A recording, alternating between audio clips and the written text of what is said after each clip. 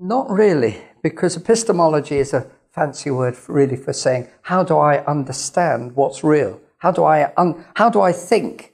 How do I actually appreciate what's, what's true and what is false? How do I actually make judgments? How do I understand the world around me? Is really very close to this word epistemology. It's how do I actually uh, gain knowledge? Now, if you're saying that your brain has evolved from the mud, right? How do I know that my thoughts are real? How do I know that I, am not just an illusion? And many scientists, brain, brain scientists who are evolutionists, are going this way.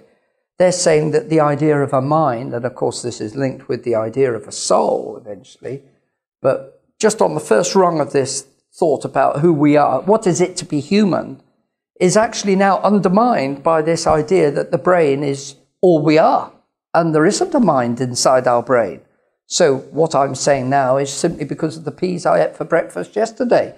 And you know, anything that I am, all the noises that I'm making using language now is really just a product of a long, a long chain of evolution, which is 13.7 billion years old, which starts as, uh, uh, uh as uh, uh, has been said by a famous intelligent design person, Phil Johnson, years ago, Instead of in the beginning was the word, it becomes in the beginning were the particles.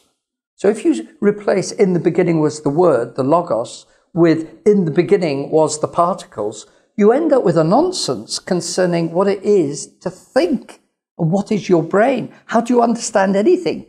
And of course, this affects not only science, but it affects art.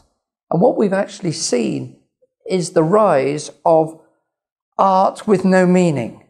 Um, um, art has, you know, gone into not just trivial things, but things pretty base as well. If you go to the Tate Modern Gallery in London, I'm not saying that they're not some sort of reflection of society as it is, which is often what art does. It just reflects where society is. But it's become so nihilistic that people get thousands of pounds, maybe even hundreds of thousands of pounds, for just putting a pile of bricks into the middle of the room and saying that that is art. They've lost all concept of what is right and what is wrong. Ethics has gone out of art, and even understanding has gone out of art. So Francis Schaeffer saw this years ago when he wrote the book with Everett Koop, Whatever Happened to the Human Race. And he also wrote the book Escape from Reason. Once you undermine reason by saying that we haven't really got a mind, that we haven't got a soul. We've lost our humanity as well as losing God.